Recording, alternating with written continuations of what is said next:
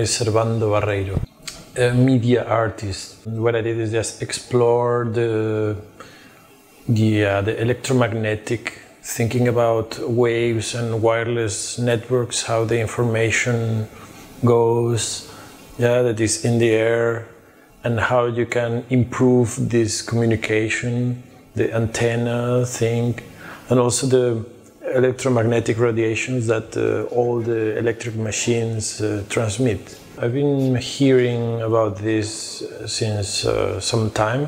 Mm-hmm.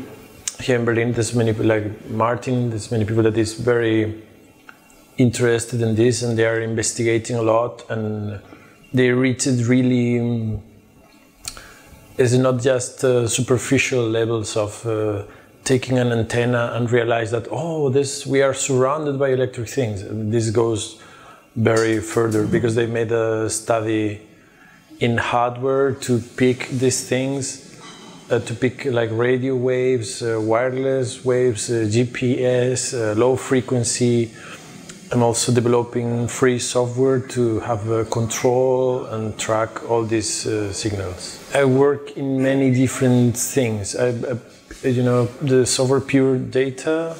Mm-hmm. I'm a Pure Data programmer. I organize in Berlin the Pure Data user meeting.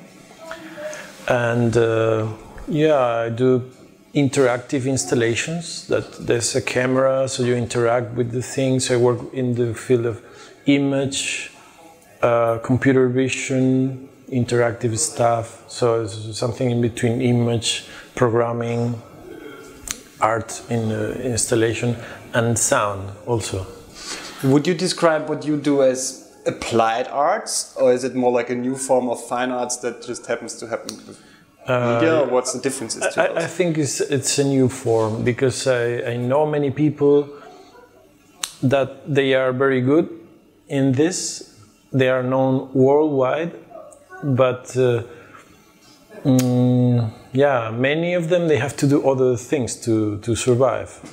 That means that uh, it's uh, underground art, and many people has uh, with technology. Many people has uh, fear of technology when they see cables and machines and antennas. It's like, oh my god, what is that mess? Like, take it out of my view. So people like the things less technological as, as possible and uh, yeah have another point of view but couldn't it be also the other way around that by having this internet and sort of like people liking gadgets and things that blink and that's something that maybe also on their smartphones you actually as an artist have a possibility to actually reach them easier as if you had to force them into a museum or a media festival it's, it's curious. I think the, the newer generations uh, are more interested in the technology things because when you are using internet for some years and when internet is giving you a lot of things, a lot of uh,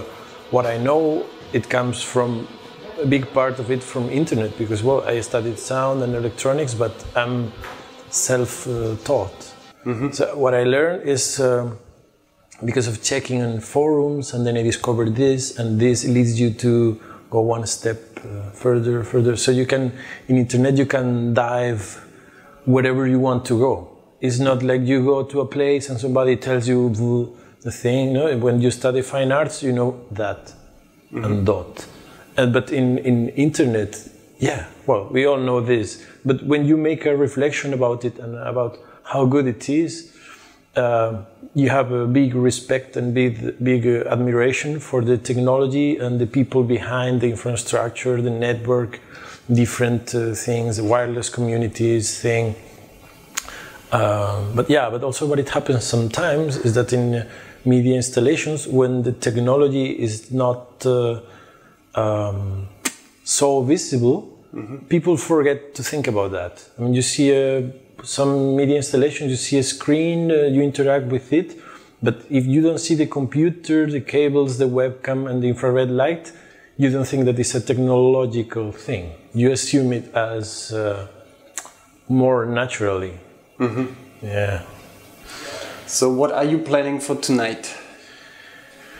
Uh, yeah, we'll play a small performance at half past six. Um, it's uh, something that I've been doing I like um, analog sound, like uh, develop my own electronic instruments and um, play with it. But this is uh, one step further. So I connect the audio to an oscilloscope. That is a machine that usually um, is for laboratory use and it represents the waveform of the sound. So when I connect this oscilloscope, like I just put the camera in front of the screen and I connect to a beamer. So uh, when I generate a sound, this sound generates a waveform, and this waveform is displayed. So you can see the sound mm-hmm. somehow. The, you can establish an association between the waveform and the, this how it sounds. So the you know sine tone like soft sounds have more rounded shape, and if you make a harsh, uh, sharp sound, you will see more corners, more triangular or square waveforms thing. It's interesting to see. And also, I will use a coil that picks the electromagnetic frequencies. So I will. There's a whole spectrum. Like mobile phones have a very high frequency sound, and other machines like the screen of a laptop has a hum and well to, to appreciate these things that usually are invisible and inaudible so i will make it um, visible and also make sound with it. Okay but the goal is not to have a pleasing musical concert is that i think it's pleasing.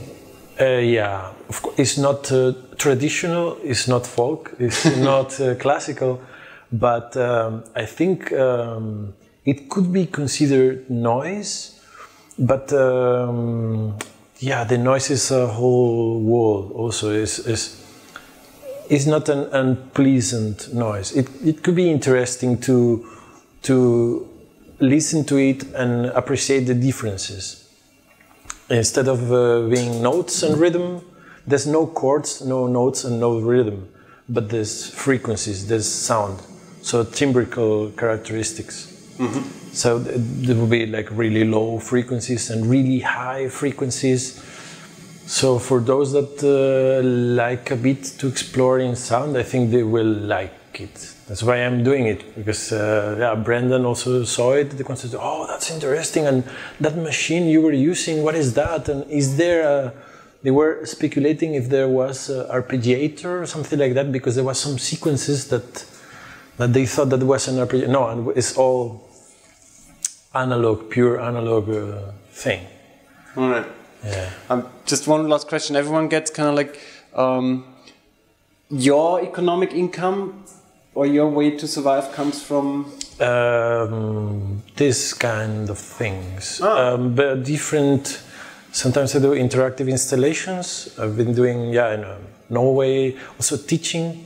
Sometimes teaching. Sometimes making an interactive installation or uh, live performance, sometimes alone, sometimes with people collaborating. So the cool thing about Berlin is that it's full of artists, many media artists also. So I, I can run several projects in parallel. Mm-hmm. audiovisual. That sometimes I sometimes I do audio, sometimes I do just video, or sometimes I just do the electronic things, cables, webcams, and thing. And uh, luckily, putting this together with the cheap prices still in Berlin, one can survive here by doing that. Mm-hmm. But generally, like doing the performances, like each part where you do something enables you to continue whatever you're interested in. It's not like your, your performance is the product, and the more you do it, the more money you make. No, no, it's not not product. Like uh, here, for example, since it's what I love to do, analog synthesis and this kind of minimalistic visualization, like really strict brain connection, let's say. Since I love this and I know that uh, Brendan and Bengt also liked that, I said, hey, I could do this. Yeah. Hey, yes, do it. So it's just for, for pleasure.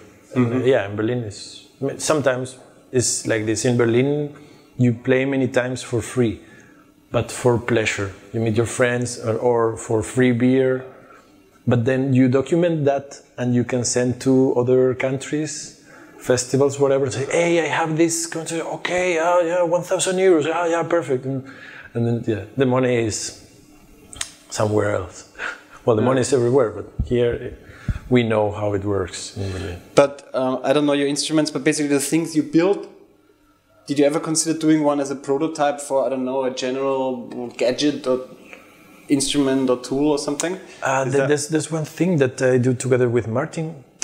Um, because Martin uh, Howse, that is here, you will, uh, is a very interesting guy. He's like a master for me. So uh, once he, part of uh, exploration was one circuit, there was a board that uh, converts any external signal from a sensor into HID signal.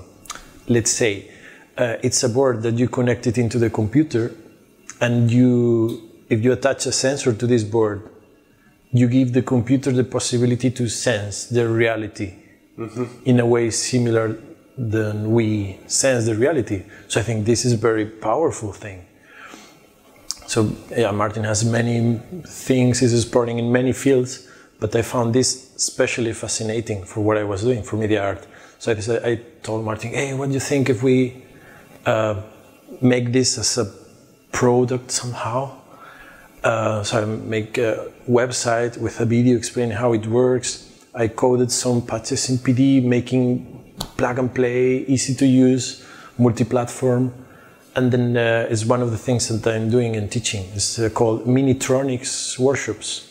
So I, I teach the people introduction of this software, pure data, this open source, multi-platform, so it's really cool because uh, when I teach a workshop, anybody can attend with any kind of uh, operative systems, and everybody likes to plug, for example, a light sensor, and then you move your hand over the sensor without touching, and you are changing a sound like like a theremin, like and then people like, wow, oh, this is really cool, and it's cheap, cool, and new, nice, and yeah, I enjoy teaching and doing these things what's it called? Mini-nomics, macronomics. Mini, no, Minitronics. Minitronics, okay. Minitronics, yeah.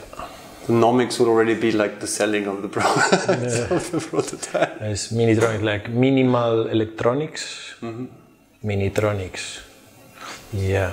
Okay, that makes me happy. Thank you. Hmm.